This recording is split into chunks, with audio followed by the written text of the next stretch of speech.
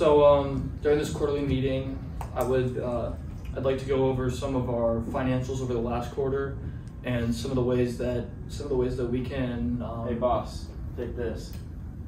What is it? It's a touch tag. It's awesome. What does it do? It's a discrete sensory device that helps reduce stress and anxiety and helps with focus. Looks like it's interchangeable too. Yeah, we actually offer multiple different fabrics. Wow. Thank you. No problem. Yeah, so as I was saying, we need to improve our financials from last quarter. And some ways we can do that are improving our average sale price from 100,000 to 180,000. And doing this will allow us to open up three more branches and increase profits never seen before. Hi, I'm Foster Camp, COO of TouchCo. And the touch tag has helped me out in environments like that, where I'm giving out a stressful presentation and I can just calm down with the simple touch of a touch tag.